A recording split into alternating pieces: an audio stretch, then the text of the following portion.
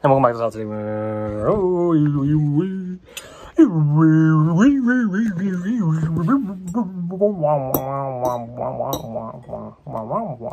We're in a salad today. Stop making noise. Let's eat the salad.